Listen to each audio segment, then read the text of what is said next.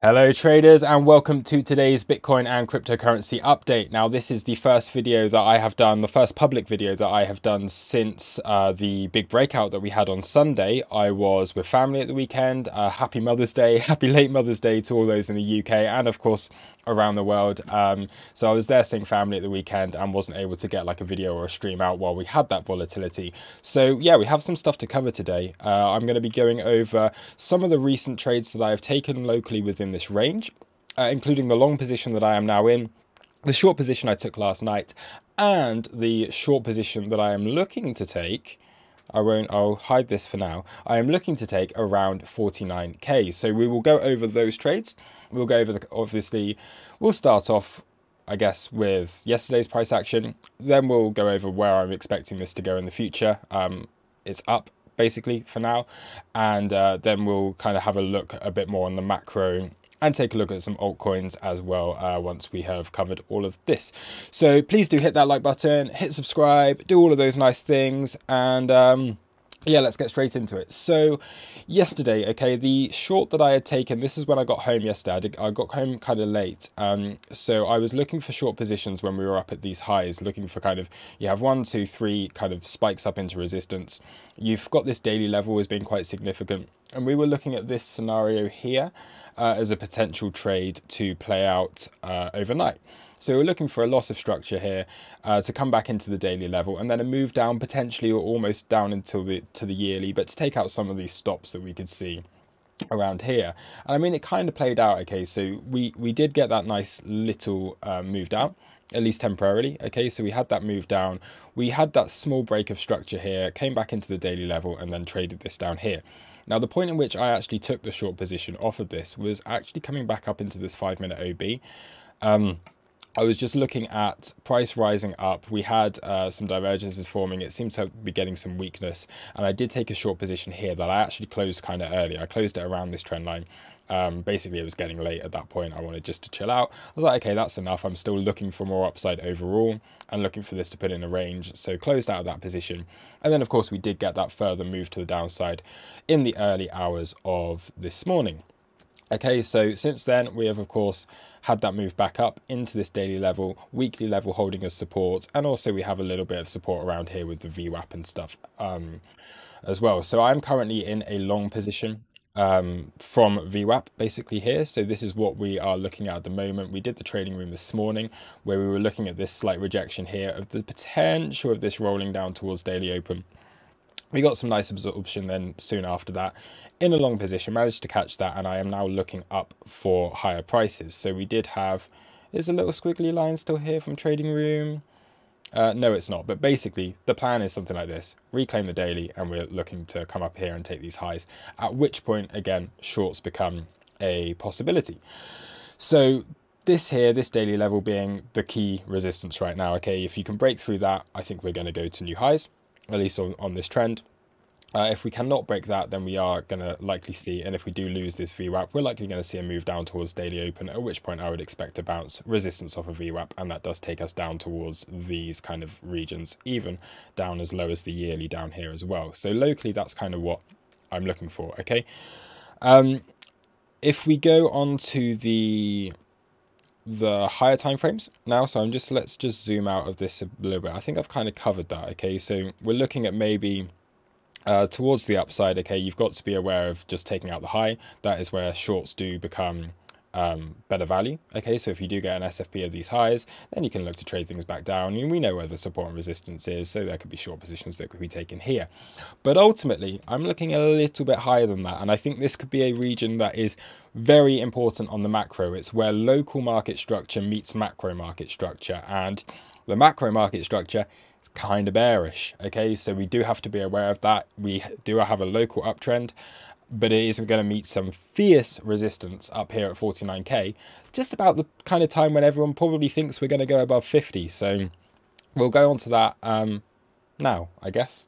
Yeah, let's just move on to that. So we'll zoom out here. We'll go on to the four hour chart because this is where this structure starts to become clear and then we'll move on to the daily chart, which is where it becomes even more clear.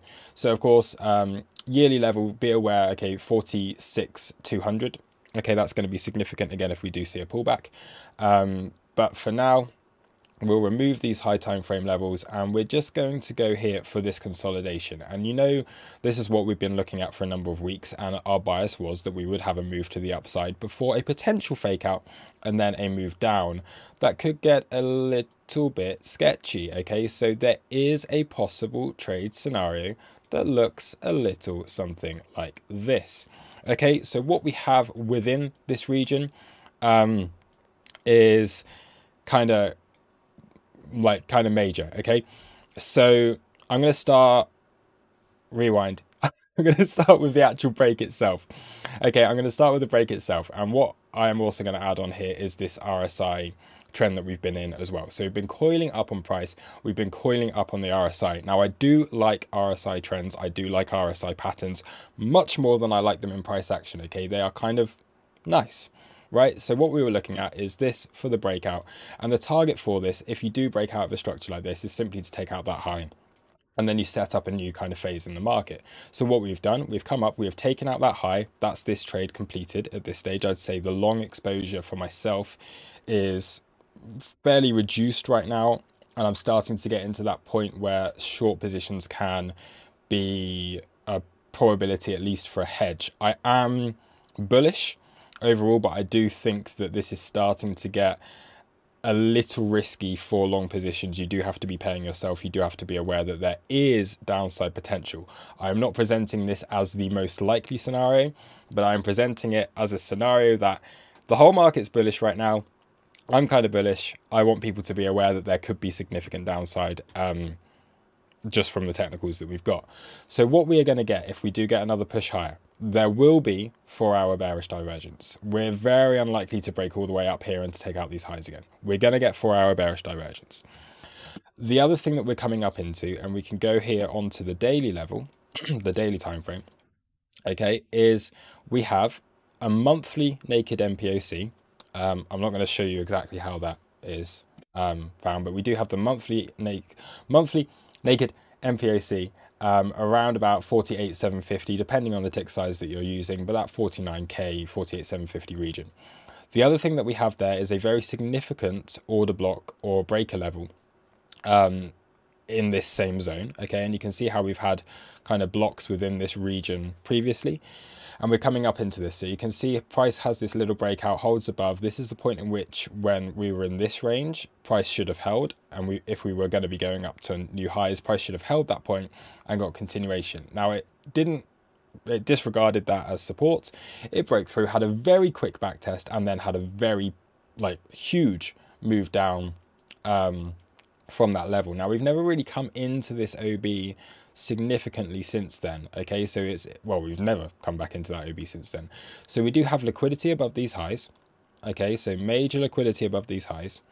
What we also have is this daily order block. We have the monthly MPOC, and then we have this fair value gap, which is uh, presented here with this little purple box. So this being the uh, fair value gap that you have here on the chart, and that is between um, basically the wick high that you have on the 31st of December and the down move that we had on the 26th of December, basically that is like these points are not touching okay? So on the high time frames these points are not touching. That is an imbalance on the chart that could get cleaned up before a move to the downside. That would maintain bearish market structure okay with your major kind of pivots being here here and possibly here before we do see continuation to the downside now i'm not expecting um really I don't see this as the most likely scenario.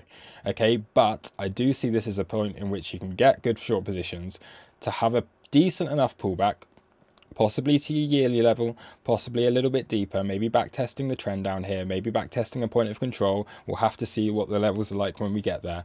Um, but this is a, a potentially bull trappy area that you do need to be aware of. Okay, so um, it's an idea. Okay, I just want to kind of show that as like a significant one because as people are getting more and more bullish, um, starting to believe a bit more and more in this breakout, we've had a few days of, um, well, we've had a really good run uh, within this range. And then since the breakout we're in a couple of days of continuation which is what you want to see. But there is stuff you need to clean up below. And this could be a potentially trappy area as everyone starts to think oh my god this breakout's actually real. We're going to go up to like 50k 58k and so on. So do be aware of that. Um, of course if we do flip that let me just take away this. Let's zoom in a bit more. Uh, let's remove the short position. I don't think it's going to play out as high as that. I think what's more likely is we just kind of reject, play this range here, and I am thinking eventually we do break out. But, okay, this is uh, something to be aware of. Now, if we do flip that, and we can turn it into support, then I, I think we're very likely to be moving up to that 56k, that 58k. Um, you can go onto your bigger range here. You can look at your big point of control within this region. I don't think it would take much for price just to kind of blast through this whole low volume area here. So this is basically our last high volume node around at this NPOC. Then it becomes very thin. Uh, so if we do flip it, hold it as support, I do think we'll quite easily see a move up towards that 56, 58k region uh, soon after that. So that's like the higher time frames. Um, do be careful if price does come up here. I am going to be looking for short positions. I am going to be reducing massively on my long exposure up there. Um, you're only going to lose a few percent if price does reclaim and go up. There, will be another opportunity to get in. I don't think you're going to lose anything by hedging.